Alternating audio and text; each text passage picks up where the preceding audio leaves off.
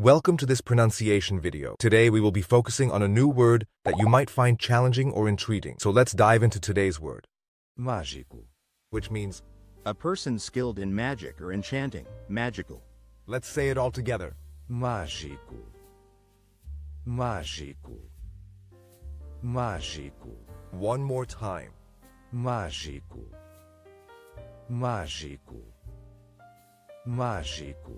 Thank you for joining us on this adventure in pronunciation. Remember, language is a journey, not a destination. Keep exploring, experimenting, and expanding your linguistic horizons. We'll see you next time.